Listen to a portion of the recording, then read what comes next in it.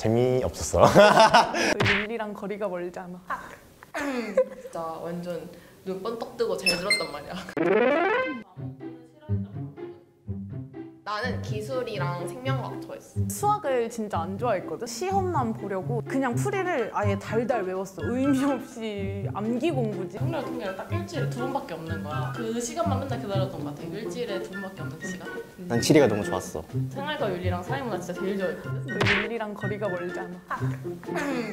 책상에다가 시간표 붙여놨었는데 아, 맞아. 특별히 형광펜으로 맨날. 그 시간만 기다리려고. 어, 선생님도 너무 좋았거든.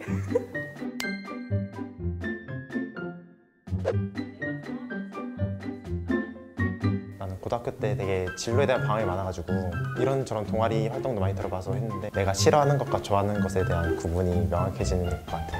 그래서 저번에 말했던 신문본 재밌었어? 아 신문 신문부 신문부? 아 왜왜 왜? 재미없었어. 재미없었어. 어, 제가 신문부 선생님만 부르면 안 되는데.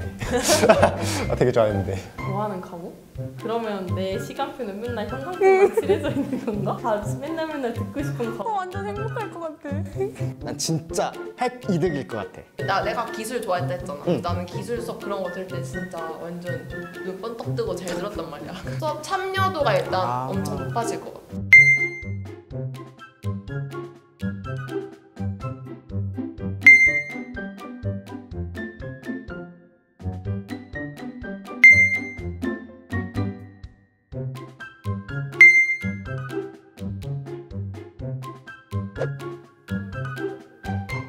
캐나다에서도 학교를 다녀보고 한국에서도 학교를 다녀봤는데 더 자유롭고 많은 걸 할 수 있었던 거는 확실히 외국에서 학교를 다녔을 때야 그래서 만약에 이게 정책이 시행이 되고 잘 정착이 된다면 몇십 년 후에는 더 삶의 질이 다들 높아지지 않을까 우리 자식들도 맞아 우리 자식들도 이제 이걸 어쨌든 이 제도대로 교육 배우는 거니까 제대로 자리가 잡혔으면 좋겠어. 나도 난 취미가 생길 것 같거든. 정형화된 수업을 했잖아 우리는. 대학을 와서 피아노 수업을 듣게 됐거든. 우리 집에 있는 피아노도 한 10년 동안 한 번도 만진 적이 없는데 그 수업을 듣고 피아노에 재미가 생겨서 아, 전자 피아노 다시 사볼까 약간 이런 생각도 하고 있단 말이야. 없던 취미도 생기고 약간 그렇게 될 것 같아.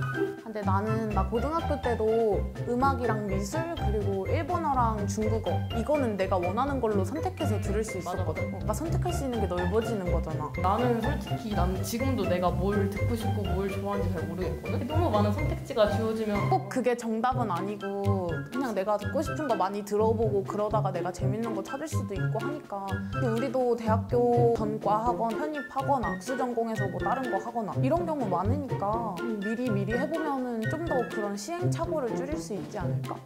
시행착오를 줄일 수 있다. 오 좋지 좋지 우리도 다른 대학교 사람들을 만나려면 동아리를 찾아서 하거나 해야 되는데 그거 들어가기도 쉽지 않단 말이야. 교학점들을 해서 고등학교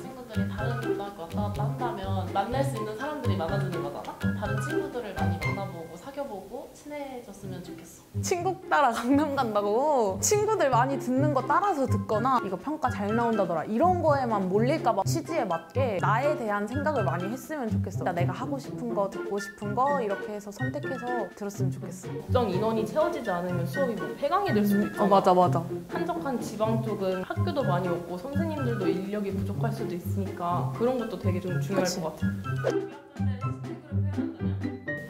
방탈출 31가지와 맛보기 스푼 만남의 광장. 이게 방탈출 게임이 단서가 되게 많은데 그 단서를 차근차근히 풀어 나가면서 결국에는 이제 탈출을 하는 그런 게임이잖아. 내가 듣고 싶은 과목들을 이렇게 차근차근히 들어보면서 진로라는 거를 내가 정할 수 있게 되는 거지. 그래서 방탈출이라고 생각을 했어.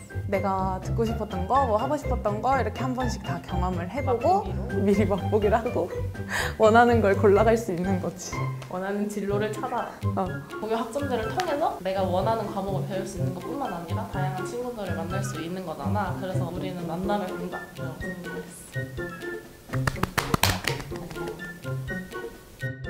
한문 노트 꼭 사가지고 맨날 그거 뭐 쓰고 밑에 뜨뜨듬 쓰고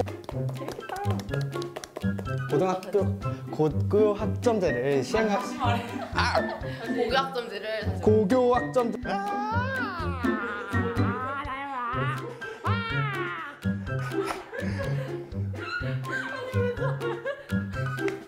왜?